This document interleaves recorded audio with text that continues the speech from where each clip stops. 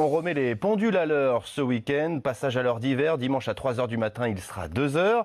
C'est peut-être la dernière fois car le changement d'heure pourrait disparaître d'ici l'année prochaine. C'est en tout cas la volonté de la Commission européenne. Mais d'abord, il va falloir se mettre d'accord. Cécile Coste.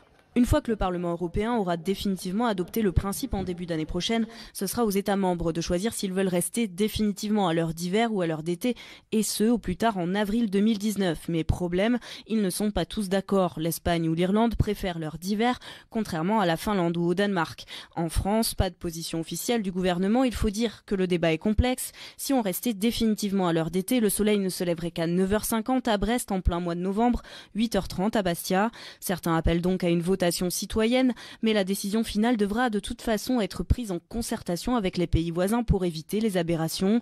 Si la France choisit de rester à l'heure d'été, le dernier changement sera donc le 31 mars prochain. Si elle choisit l'heure d'hiver, ce sera dans un an, le 27 octobre 2019.